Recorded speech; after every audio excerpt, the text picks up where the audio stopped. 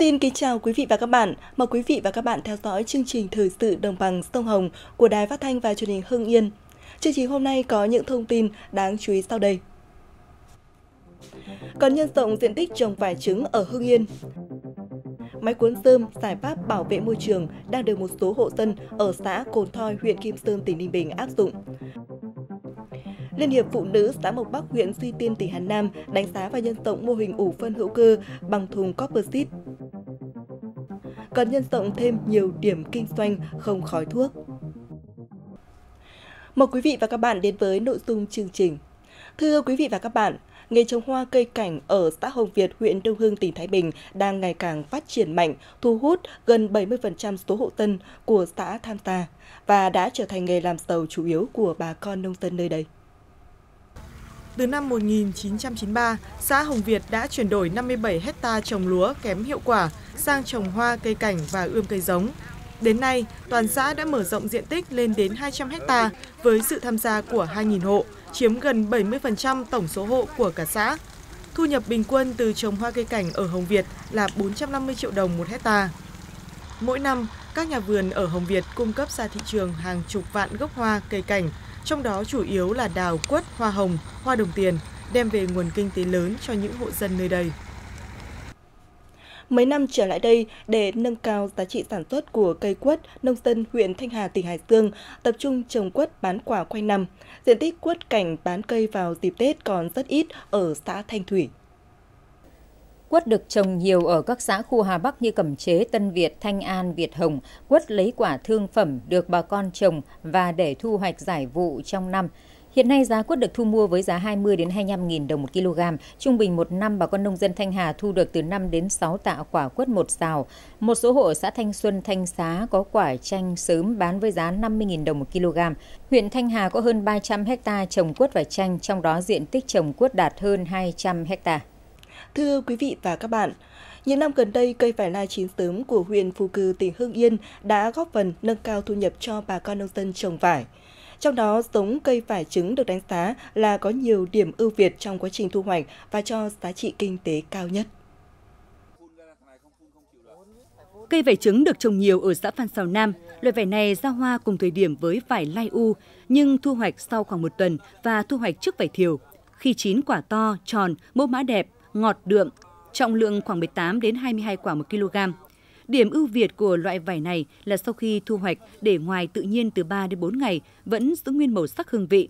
Năm nay toàn huyện Phù Cử có khoảng 15 hecta vải trứng cho thu hoạch đạt gần 20 tấn quả.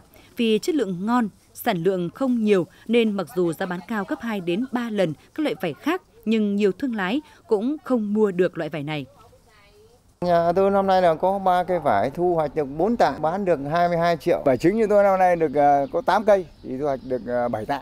Đấy, còn giá thị trường thì nó dao động trong khoảng 60 65.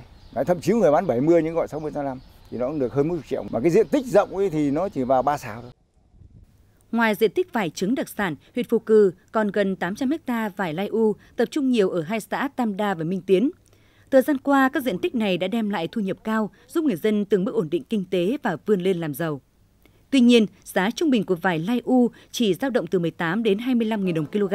So với tiềm năng lợi thế mà cây vải trứng ở xã Văn Sầu Nam đem lại, thì những người dân ở vùng trồng vải lai u đang mong muốn chuyển đổi thay thế một số diện tích giống vải trứng nhằm kéo dài vụ thu hoạch và nâng cao giá trị kinh tế.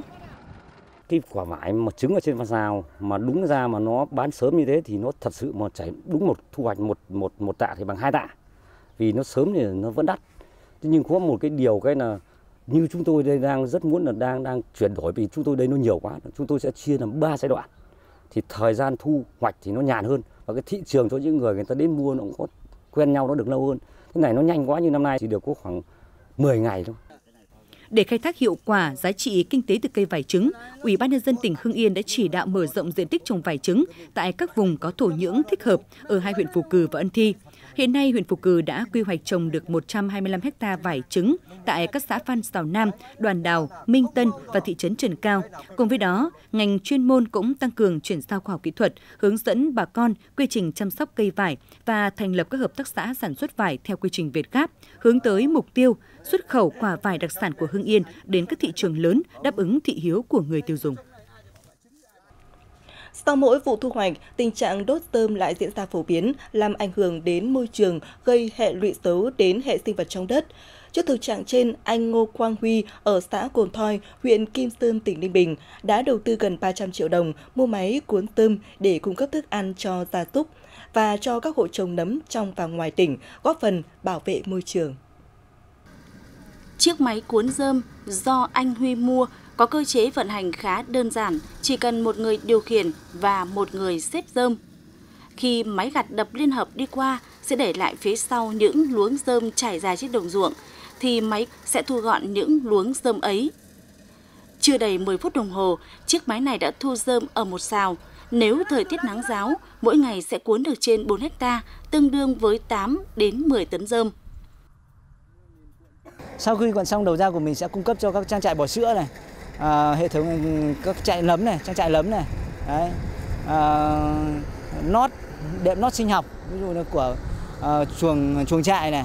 Đấy xong là khi mà để làm đệm nót sinh học thì sẽ sẽ tạo ra cái phân hữu cơ quay trở lại đồng ruộng để tạo thành một cái chuỗi. Ví dụ như là là khi mà mình đã gieo trồng hạt rồi xong là ngoài thu hoạch lúa nên mình còn thu hoạch được dơm dạ để mình tái sản xuất. Trước đây, sau mỗi vụ thu hoạch, nhiều nông dân ở xã Cánh Nhạc, huyện Yên Khánh bỏ lại rơm dạ trên những cánh đồng hoặc đốt tại ruộng, gây lãng phí nguồn nguyên liệu. Nhờ chiếc máy này mà rơm dạ đã được thu gom để cung cấp cho những hộ trồng nấm ở địa phương. Phát triển cái máy ờ, gom rơm đã mang lại một cái, cái nguồn thu rất tốt cho các cái hộ đầu tư máy máy gom rơm và đến ờ, đến nay thì ờ, riêng khách nhạc ờ, riêng riêng khách nhạc chúng tôi thì uh, khoảng uh, trên 5% cái diện tích thì đã đã được ừ, các máy thu gom. Uh, chúng tôi đang với hướng này thì động viên bà con tăng cường đầu tư thêm làm sao gom hết toàn bộ cái cái dơm để đưa vào chăn nuôi. Thứ hai nữa làm giảm cái ô nhiễm môi trường. Trung bình mỗi năm Ninh Bình gieo cấy gần 40.000 ha lúa, nguồn rơm sau thu hoạch khá dồi dào. Tuy nhiên, những chiếc máy cuốn rơm như thế này trên địa bàn tỉnh còn ít. Hơn nữa, nhiều nông dân chưa nhận thấy hết giá trị của rơm dạ nên còn bỏ phí hoặc đốt tại đồng. Cách xử lý này không chỉ làm thoái hóa đất mà còn là nguyên nhân gia tăng tình trạng biến đổi khí hậu do nguồn khí thải và khói bụi gây ra. Từ nay đến cái vụ mùa thì chúng tôi sẽ hỗ trợ khoảng từ 6 đến 7 máy để làm sao mà đáp ứng được một phần cái diện tích mà lúa thu hoạch sau đó thì cái dơm dạ sẽ tận dụng lại để làm nấm và làm thức ăn gia súc thì cái giá trị còn cao hơn rất nhiều. Máy cuốn dơm đang là giải pháp tối ưu cho việc xử lý nguồn dơm dạ sau thu hoạch, góp phần phát triển nông nghiệp bền vững.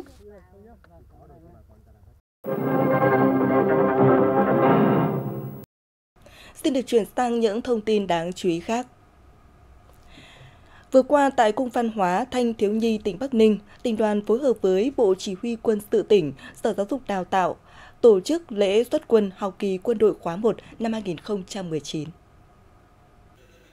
được thiết kế phù hợp cho thanh thiếu niên từ 11 đến 16 tuổi. Năm nay, chương trình học kỳ quân đội được tổ chức thành hai khóa, mỗi khóa kéo dài 8 ngày tại Trung đoàn 833, huyện Gia Bình. Trong đó khóa 1 sẽ diễn ra từ ngày 31 tháng 5 đến ngày 7 tháng 6 với sự tham gia của 132 chiến sĩ nhí.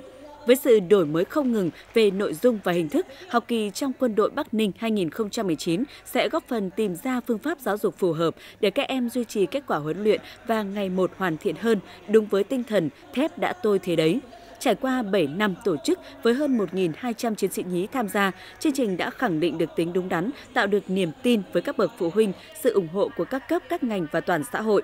Đây là chương trình không chỉ giúp các em rèn luyện bản lĩnh mà còn góp phần giáo dục tinh thần yêu nước, lòng tự hào dân tộc. Học kỳ quân đội sẽ là một bước khởi đầu đặt nền móng cho nhận thức góp phần thúc đẩy sự thay đổi trong tư duy hành động của các em. Từ tháng 6 năm 2018 đến nay, Quỹ bảo trợ trẻ em các cấp trên địa bàn tỉnh Hưng Yên đã quyên góp được trên 6,8 tỷ đồng, tổ chức các hoạt động chăm lo cho hàng nghìn lượt trẻ em có hoàn cảnh khó khăn. Trong đó, Quỹ Bảo trợ Trẻ Em đã trao tặng học bổng đồ dùng học tập và xe đạp đến trường cho gần 2.000 trẻ em, bảo trợ và hỗ trợ đột xuất cho 735 trẻ em có hoàn cảnh đặc biệt, trẻ em bị bệnh hiểm nghèo và trẻ em bị tai nạn thương tích, tặng thiết bị vui chơi và phương tiện học tập cho 5 điểm trường, tặng quà cho trên 60.000 lượt trẻ em. Ngoài ra còn thực hiện hỗ trợ phẫu thuật 22 trẻ em bị các dị tật sứt môi, hở hàm ếch, bị bệnh tim bẩm sinh phối hợp với Quỹ Bảo trợ Trẻ Em Việt Nam thực hiện dự án hỗ trợ trẻ em lang thang và nguy cơ bỏ học đi lang thang xã Đồng Thanh, huyện Kim Động và xã Thuần Hưng, huyện Khói Châu, trao tặng 145 chiếc xe đạp và 200 bộ đồ dùng học tập, 400 chiếc áo ấm, tạo điều kiện để các em được hồi ra bền vững.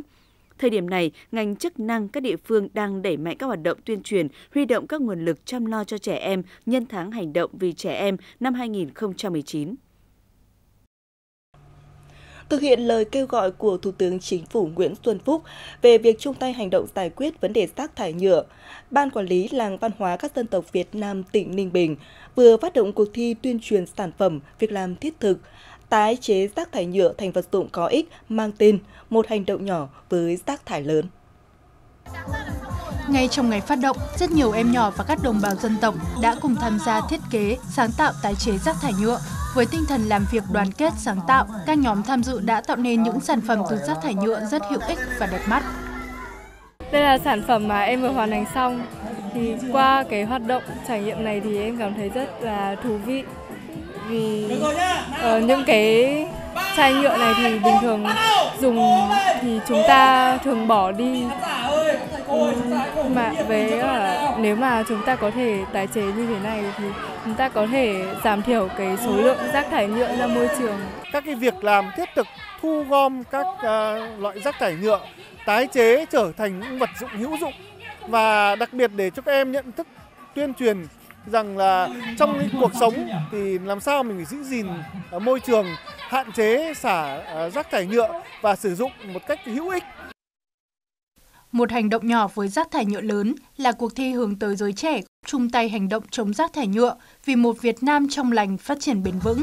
Các sản phẩm dự thi có giá trị sử dụng trong đời sống hàng ngày và mang ý nghĩa tích cực về các hoạt động tái sử dụng và tái chế chất thải, bảo vệ môi trường. Sản phẩm dự thi gửi về làng văn hóa du lịch các dân tộc Việt Nam, Đồng Mô, Sơn Tây, Hà Nội. Thời gian nhận sản phẩm là từ nay đến hết tháng 8 năm 2019 hưởng ứng tháng công nhân và chào mừng thành công Đại hội Công đoàn các khu công nghiệp tỉnh Hà Nam lần thứ ba tại khu công nghiệp Đồng Văn, Công đoàn các khu công nghiệp Hệ thống dây dẫn Sumi Việt Nam đã tổ chức lớp học yoga Zumba. Trong thời gian 3 tháng, gần 100 công nhân lao động của công ty Sumi Việt Nam sẽ được huấn luyện viên người Ấn Độ hướng dẫn học yoga và kỹ năng nhảy Zumba. Đây là một trong những hoạt động có ý nghĩa thiết thực của công đoàn công ty nhằm thực hiện tốt chủ đề mỗi công đoàn cơ sở một lợi ích đoàn viên do Tổng Liên đoàn Lao động Việt Nam phát động, đồng thời động viên tinh thần cho công nhân lao động, tạo sự gắn bó giữa công nhân với doanh nghiệp và nâng cao hiệu quả làm việc. Nhân tháng công nhân năm 2019, Liên đoàn Lao động tỉnh Bắc Ninh tổ chức lắp đặt và bàn giao phòng vắt sữa và chữ sữa trị giá 30 triệu đồng cho nữ công nhân lao động tại công ty trách nhiệm hữu hạn Nikon Việt Nam, cụm công nghiệp Đông Thọ, Yên Phong. Công ty trách nhiệm hữu hạn Nexcon Việt Nam hiện có khoảng 600 nữ công nhân lao động, trong đó công nhân ở độ tuổi sinh đẻ và nuôi con nhỏ là khoảng 250 người. Việc Liên đoàn Lao động tỉnh hỗ trợ lắp đặt và trang bị máy vắt chữ sữa tại công ty đã góp phần hỗ trợ nữ công nhân tiếp tục nuôi con bằng sữa mẹ đến ít nhất là 24 tháng tuổi, giúp trẻ có sự khởi đầu tốt.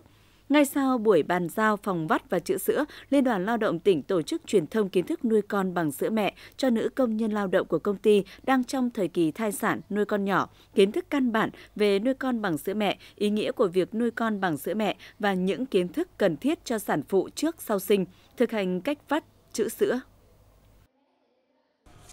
Sau 6 năm thực hiện, phân loại xử lý rác thải sinh hoạt tại gia đình, ý thức trách nhiệm của nhân dân ở huyện Phù Cử, tỉnh Hưng Yên về bảo vệ môi trường đã được nâng lên rõ rệt. Toàn huyện hiện có gần 50% tổng số hộ thực hiện mô hình này.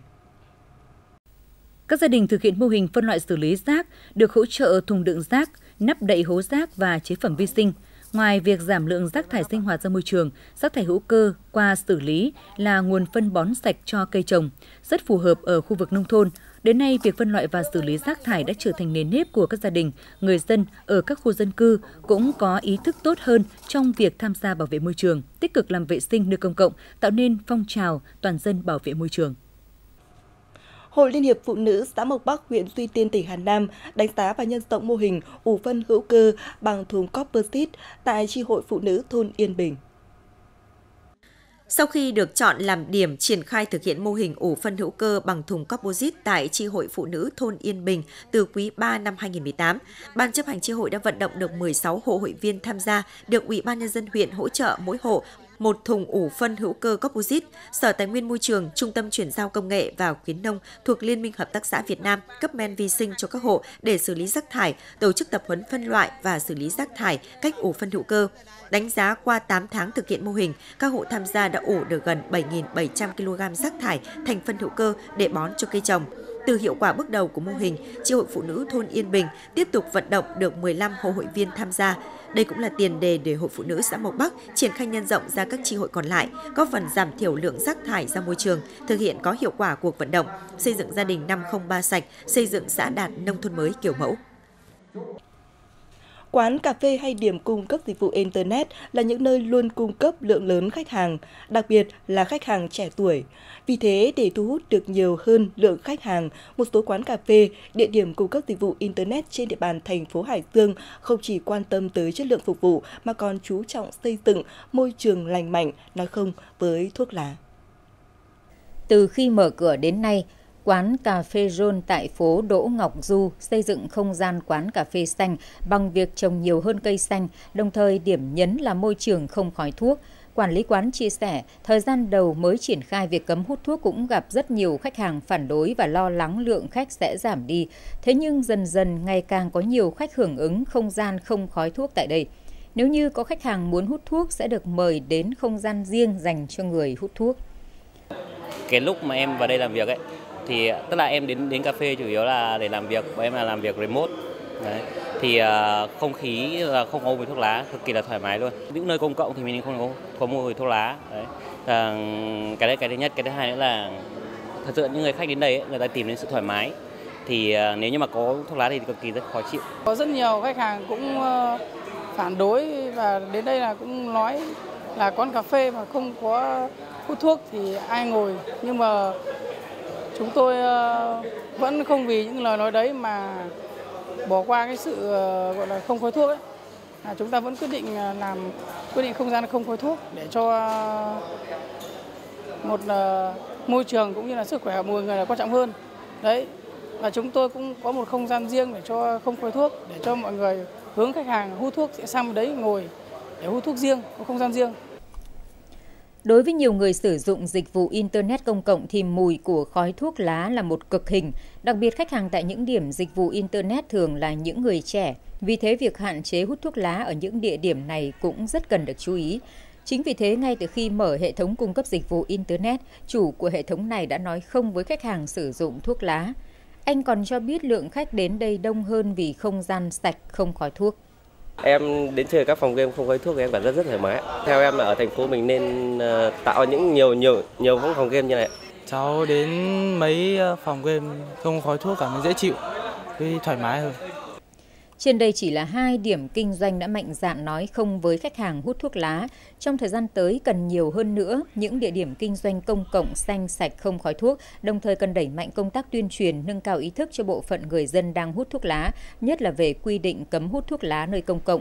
Có như vậy mới giảm được khói thuốc lan tỏa trong môi trường sống, gây ảnh hưởng không tốt tới sức khỏe cộng đồng. Hiện nay, huyện Ân Thi, tỉnh Hưng Yên còn gần 200 trường hợp vi phạm công trình thủy lợi chưa được xử lý.